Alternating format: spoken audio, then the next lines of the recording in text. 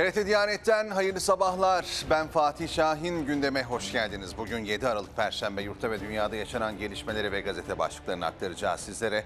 Sizler de sosyal medya hesaplarımızdan ve 0535 018 1750 numaralı telefon hattımızdan WhatsApp mesajlarınızla programımıza katılabilirsiniz diyelim ve günün gelişmeleriyle gündeme başlayalım.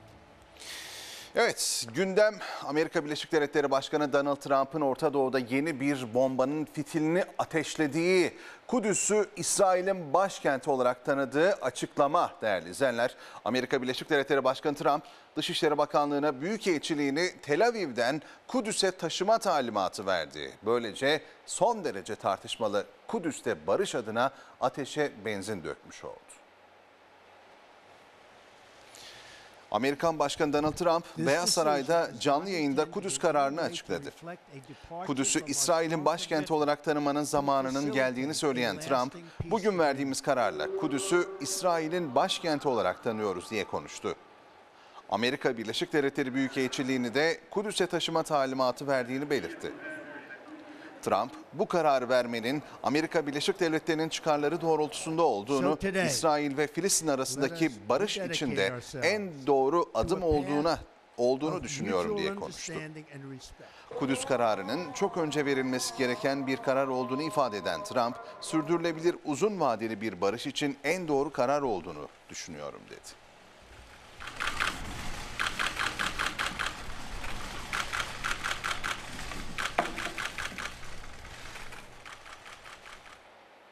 Tabii bu karar e, sonrasında tepkiler de yükselmeye başladı. Özellikle Türkiye'den Cumhurbaşkanı Recep Tayyip Erdoğan mektupla dünyaya Kudüs çağrısı yaptı. Mektubu İslam dünyasının liderlerine de gönderdi.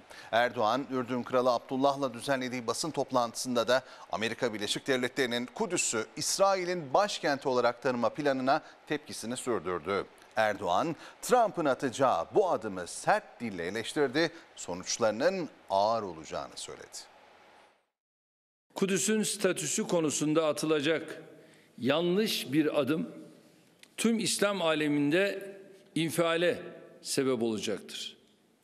Bu barış zeminini dinamitleyecek, bölgemizde yeni gerilimlerin, yeni çatışmaların fitilini ateşleyecektir.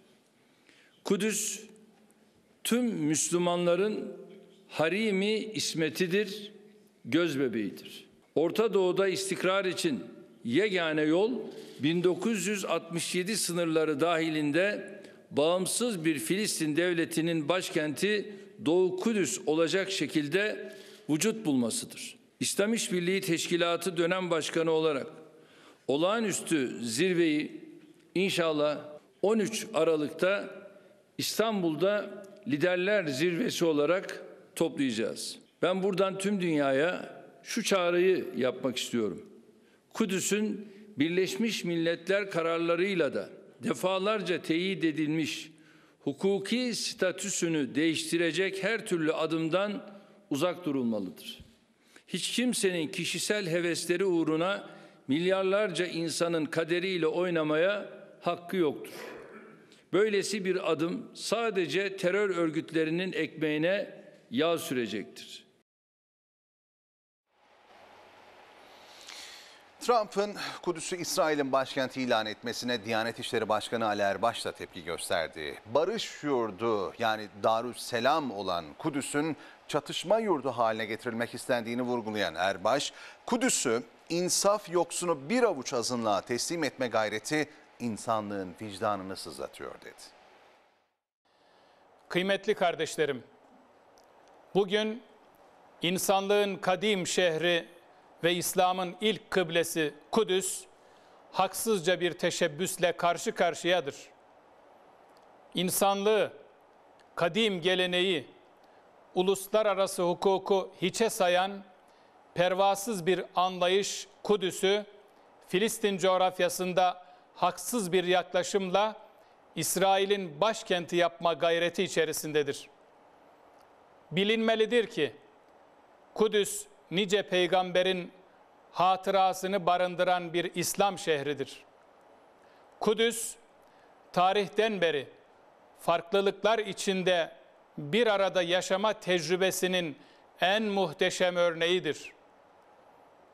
Kudüs her bir müminin canından, malından aziz bildiği mukaddes bir şehirdir.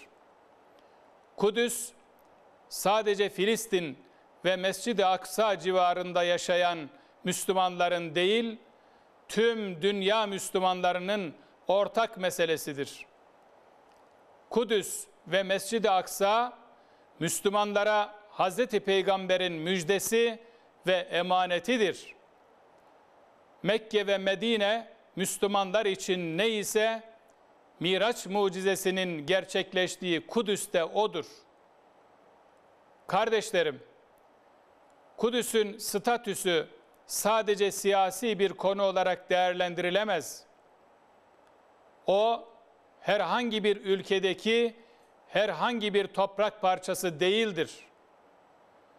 Onun İslam tarihi boyunca Müslümanlarca titizlikle korunan Darüsselam yani barış yurdu olma niteliği bugün yıkılmak istenmekte.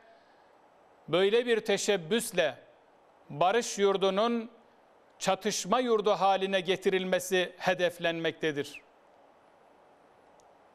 Kudüs'ü insaf yoksunu bir avuç azınlığa teslim etme gayreti sağduyuyu ortadan kaldırmak ve insanlığın vicdanının sızlamasına sebep olmaktır. Birlikte yaşama kültürüne, huzura, barışa ve güvenliğe vurulan bir darbedir. Diyanet İşleri Başkanlığı olarak her türlü işgal ve zulme rağmen yıllardır Mescid-i Aksa'nın muhafızlığını yapan Filistinli mazlum Müslüman kardeşlerimizin yanında olacağız, yanında olmaya ve her türlü desteği sunmaya devam edeceğiz.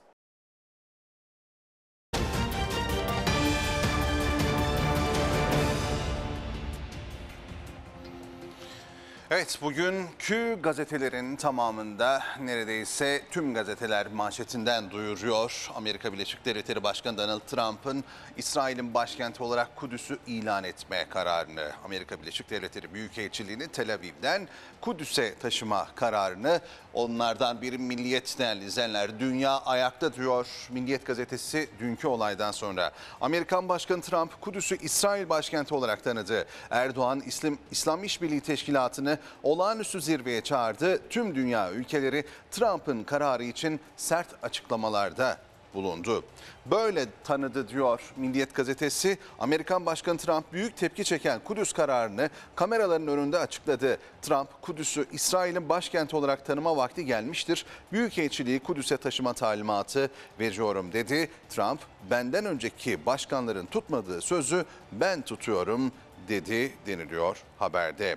İslam aleminde infiale neden olur. Ee, az önce de aktardık en büyük tepki Türkiye'den geldi değerli izleyenler. Kudüs'ün İsrail'in başkenti olarak Amerika Birleşik Devletleri tarafından tanınması kararına Beştepe'de Ürdün Kralı 2. Abdullah'la görüşmesinin ardından ortak basın toplantısında söyledi. Cumhurbaşkanı Recep Tayyip Erdoğan bu sözleri Ürdün ile aynı noktadayız. Kudüs'ün statüsü konusunda atılacak yanlış bir adım tüm İslam aleminde infiale neden olacaktır. Bu karar yeni çatışmaların fitilini ateşleyecektir.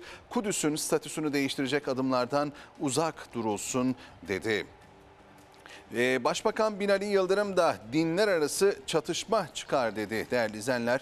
Güney Kore e, Başbakanı Lee Nak-yeon'la ortak basın toplantısında e, bu konuya değindi. Dinler arası çatışma getirir. İslam alemi bakımından çok hassas bir konudur. Türkiye haklı davasında Filistinli kardeşlerimizin bütün İslam alemiyle beraber yanında bugüne kadar olduğu gibi bundan sonra da olmaya devam edecektir dedi deniliyor. Büyük bir öfke var. Amerika Birleşik Devletleri Başkanı Trump'ın açıkladığı bu karara değerli izleyenler. Ee, işte Milliyet Gazetesi bu tepkileri bugün bu haberin altında yer buldurmuş, yer vermiş. Filistin Devlet Başkanı Abbas karar hiç bitmeyen savaşlara yol açacaktır diyor. Hamas da karar cehennemin kapılarını aralamıştır eee, açıklamasında bulunuyor. Papa'dan da bir açıklama geliyor. Sağduyunun durumu çözeceğini umut ediyorum diyor. İngiltere ise iki devletli çözümü desteklemeyi sürdürüyoruz derken Fransa onaylamadığımız üzücü bir karardır açıklamasında bulunuyor. Birleşmiş Milletler en son çözülmesi gereken bir konu derken Rusya kabul edilemez diyor. Suudi Arabistan Müslüman dünyasını tahrik edecek bir karar deniliyor. 1969'larda dönemin İsrail Başbakanı Golda Meir e, yazmış olduğu e, anılarını topladığı bir e, kitabında diyor ki değerli izleyenler e, Kudüs'e girdiğimizde Mescid-i Aksa'ya e, İsrail askerleriyle birlikte girdiğimizde o gece sabaha kadar uyumadım. Zannettim ki tüm İslam alemi bir olup İsrail'e savaş açacak. Ama sabah kalktım ve e, İslam e, ülkelerindeki gazeteleri getirttim. Baktım tek bir satır bile yok bizim e, Mescid-i Aksa'ya girmemizle ilgili olarak. O gün anladım ki biz burada istediğimizi yaparız şeklinde bir açıklaması oluyor. İşte 1969'dan bu yana İsrail'in uyguladığı politikalar hep bu e, İslam aleminin e, bir ses çıkarmamasından kaynaklanıyor. Ama bugün öyle değil. Özellikle Türkiye olmak üzere İsrail'in attığı her adım, Müslümanları kışkırtan her adım karşısında Türkiye'nin gür sesi çıkıyor ve Türkiye'nin gür sesiyle birlikte İslam alemi de aslında ne oluyoruz diyor bir kendine bakma fırsatı buluyor. Umarız bu olaydan sonra da böyle gelişmeler olur. Habertürk gazetesi çatışmayı ateşler başlığıyla görüyor manşetinde bu haberi değerli izleyenler. Cumhurbaşkanı Recep Tayyip Erdoğan'ın e, Ürdün e, Kralı Abdullah'ı ziyaretinde, Ürdün Kralı Abdullah'ı kabulünde yapmış olduğu bu açıklamaları e, Trump Kudüs'ü İsrail'in başkenti olarak tanıdı. Dünya ayağa kalktı. Ankara karar sorumsuzca reddediyor ve kınıyoruz açıklaması yaptı deniliyor. Hürriyet Kudüs depremi olarak görmüş dünkü gelişmeyi. Amerikan Başkanı Trump Kudüs'ü İsrail'in başkenti olarak tanıma kararından geri adım atmadı. Erdoğan İslam ülkelerini acil zirveye çağırdı. Rusya ve Batı dünyasının tepki gösterdiği kararı Papa da eleştirdi diyor Hürriyet gazetesi. Türkiye'ye bakalım. Kudüs artık cehennem. Bugün Türkiye gazetesinin manşeti Trump yangını ateşledi, dünya ayağa kalktı deniliyor haberde. Başta Türkiye olmak üzere yapılan onca uyarıyı dikkate almayan Amerikan Başkanı Trump, Kudüs başkent dedi.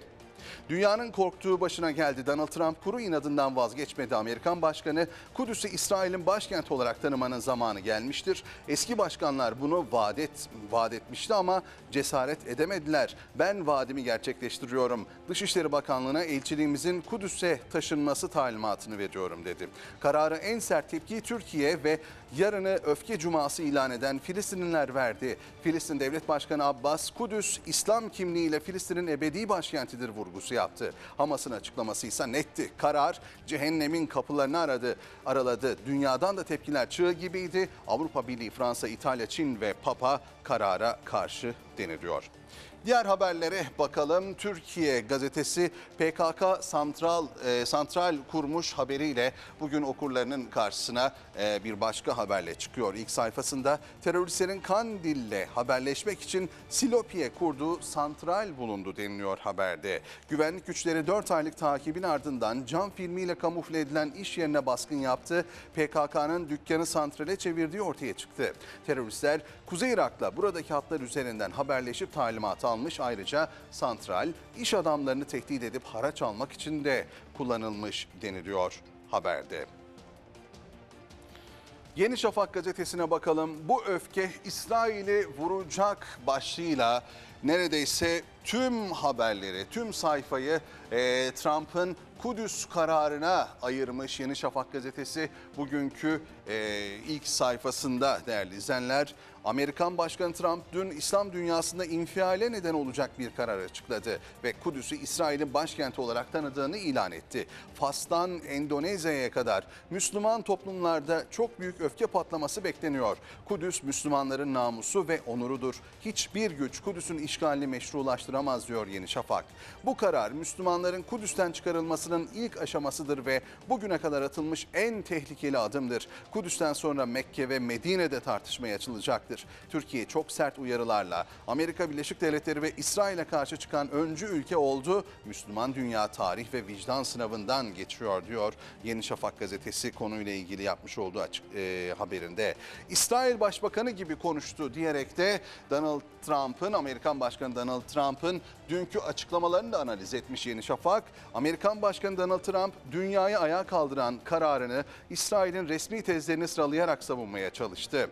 Amerika Birleşik Devletleri'nin bu kararı almakta geç bile kaldığını iddia eden Trump, Kudüs İsrail'in başkentidir. Bundan e, azı değildir. İsrail tüm egemen ülkeler gibi kendi başkentine karar vermekte özgürdür. Kudüs modern İsrail hükümetinin evidir. Elçiliğin Kudüs'e taşınması hazırlıklarına başlaması talimatını veriyorum diyor ve aslında İsrail'deki yönetimin de e, kukla yönetim olduğunu aslında bir şekilde ortaya koyuyor Donald Trump. Dün yapmış olduğu açıklamada bir ülkenin başkentine bir başka ülkenin e, karışması, yapmış olduğu açıklamayla karışması gerçekten kafalarda soru işareti e, oluşturuyor ve aslında baktığınız zaman bugünden itibaren de Başbakan Netanyahu hükümetinin istifa etmesi gerekir. Resmen bir ülkenin iç işlerine karışma durumuyla da karşı karşıyayız. E, dünya e, kamuoyu da bunu mutlaka bu şekilde değerlendirecektir. Hamas çok sert tepki gösterdi ve yarın cuma namazı sonrası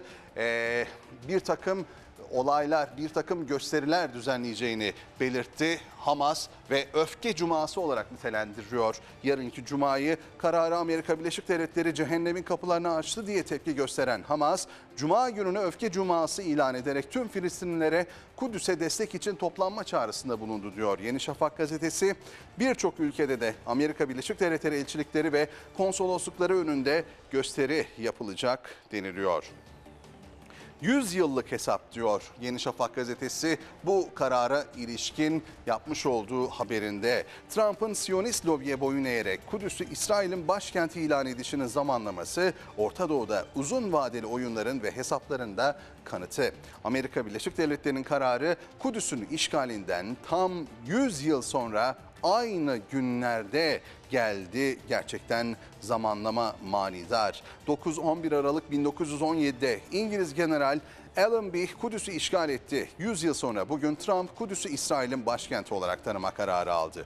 Kararın zamanlaması oldukça dikkat çekici deniliyor ve aslında biz Müslümanlara yönelik nasıl bir oyun çevrildiği de e, bu şekilde ortaya çıkmış oluyor dikkatli olmak lazım. Gözümüzü açmak lazım. E, açmamız lazım. E, bir şekilde tepkimizi ortaya koymamız lazım. Bu arada Türkiye dediğimiz gibi en büyük tepkiyi gösteren ülkelerden İstanbul'da acil toplantı başlığıyla da bu tepkinin yansımalarını bugün Yeni Şafak gazetesi ilk sayfasında duyuruyor. Cumhurbaşkanı Erdoğan İslam İşbirliği Teşkilatı üyelerini Kudüs konusunda ortak politika belirlemek için acil toplantıya çağırdı. Zirve 13 Aralık'ta İstanbul'da yapılacak.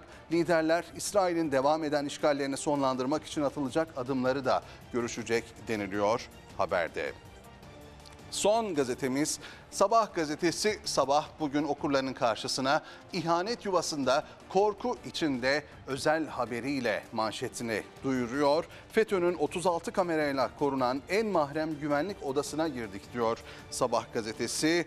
Ee, terörist başının yatak odasına giden koridor kamerayla izlenen en kritik bölge. 36 kameranın kayıtları saniye saniye ekranlara böyle yansıtılıyor e, şeklinde haberini, manşet haberini duyuruyor ve ayrıntılarıyla da bugün e, okurlarıyla paylaşıyor değerli izleyenler. Evet gazete başlıklarından aktaracağımız haberler bu kadar. Gelişmelerle gündeme devam ediyoruz.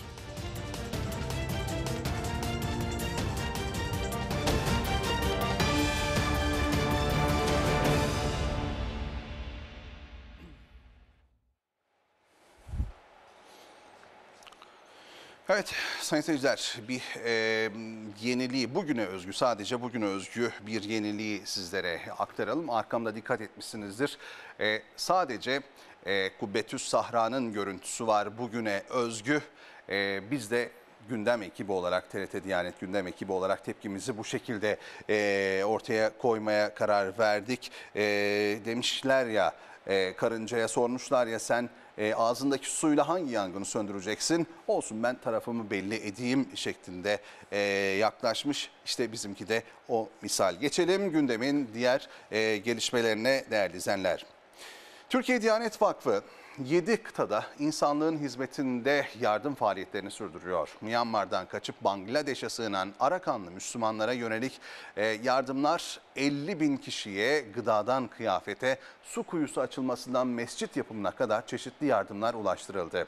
Vakıf 4 tırdan oluşan yardım malzemesi ise Mersin'den İdlib'e gönderdi. Türkiye Diyanet Vakfı Myanmar'da fanatik Budistler ve ordunun saldırılarından kaçarak Bangladeş'e gelen Arakanlı Müslümanlar için aylardır yardım faaliyetleri yürütüyor. Vakıf, Bangladeş'in Cox Bazar kentindeki kamplarda kalan zor durumdaki Arakanlı Müslümanlara görevlileri ve gönüllüleri vasıtasıyla ulaşıp yardım eli uzatıyor. Türkiye Diyanet Vakfı olarak hazırlamış olduğumuz bin kolilik e, gıda paketini e, dağıtımını gerçekleştiriyoruz. Gıda paketinin içerisinde pirinç, e, şeker, sıvı yağ, daha sonrasında mercimek, e, tuz ve e, çeşitli baharatlardan oluşan bir setimiz var. Bunları ailelere dağıtımını gerçekleştiriyoruz. Bugüne kadar on binlerce gıda, temizlik, mutfak malzemeleri, kıyafet paketleri, barınak malzemesi, su ve bisküvi paketi dağıtıldı. Dağıtılan yardımlardan yaklaşık 150 bin kişi faydalandı. Tüm imkansızlıklara rağmen Arakanlı çocukların eğitimleri de sürdürülüyor. Derme çatma da olsa kurulan barakalarda eğitimciler canla başla çalışıyor. Çocuklara Kur'an-ı Kerim eğitimi veriliyor ve hafızlık çalışmaları yapılıyor. Bu arada Türkiye Diyanet Vakfı Suriyelileri de unutmadı. Mersin'de giyim ve gıda malzemeleri dolu 4 tır hazırlandı. Bu sıkıntının olduğu günden bugüne kadar elinden gelen her şeyi yapıyor. Tabir caizse bir ekmeği varsa ikiye bölüp o kardeşlerimize gönderiyorsunuz. Şimdi de bu tırları arzu ettik ki dernek camimizde namazın akabinde sizlerin de hayır duanızla oradaki ihtiyaç sahibi kardeşlerimize bu yardımların ulaştırılması. Yapılan duaların ardından Türkiye Diyanet Vakfı'nın hazırladığı tırlar İdlib'deki Suriyeli ihtiyaç sahiplerine gönderildi.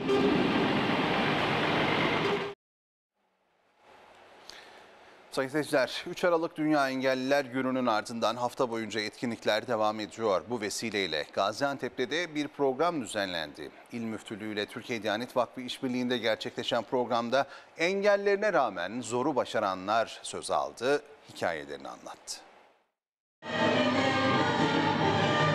İşaret diniyle İstiklal Marşı, gönül gözüyle Kur'an-ı Kerim okudular.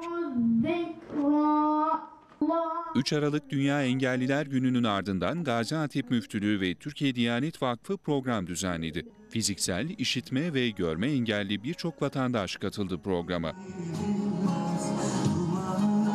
Hayatı paylaşmak için Engel Yok projesi kapsamında engeline rağmen zoru başaranlar hikayelerini anlattı. Niye çıkıyorum dedim. Hasta olan benim. 8 yaşındayım. Niye çıkıyorum bana anlat. Tamam dedi anlatayım. Programın sonunda din görevlisi, vaiz ve vaizelerden oluşan koro işaret diliyle türkü söyledi. Yarım yazmışsın ki satır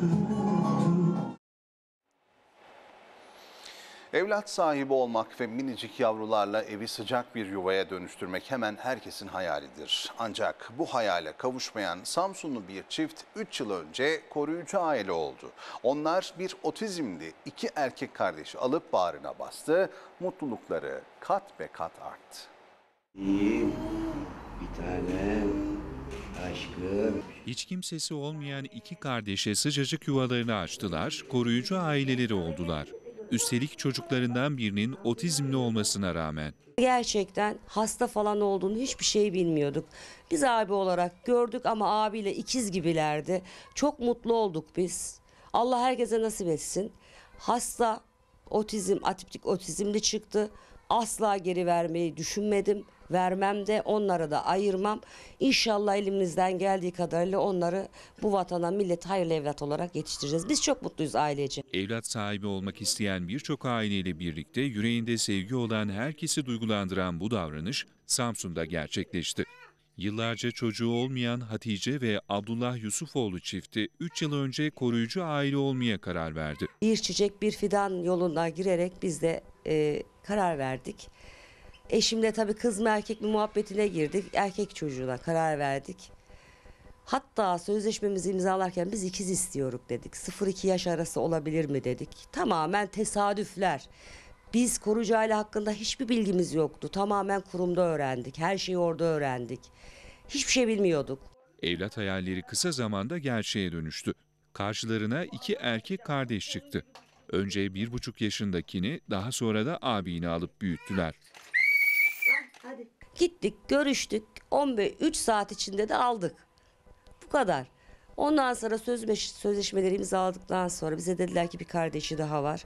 Eşim o an hemen ben onu da istiyorum dedi. Ağabeye bir süre önce otizm teşhisi konuldu. Aile zor bir sürece girdi. Ancak buna rağmen pes etmediler. Çocukları gerçek aileleri gibi bağrına basan çift, otizmli olanı geri vermeyi akıllarından bile geçirmedi. Kardeşleri ayırmayarak hem sevap kazandı hem de topluma örnek oldular. Aynı bendenmiş gibi. Kendi evladım. Zaten öyle diyorum her zaman da. Hiçbir zaman da aklım ucundan geçmiyor. Aynı bizim kendi evladımız. Hadi bir araba da alacaksın yapsın.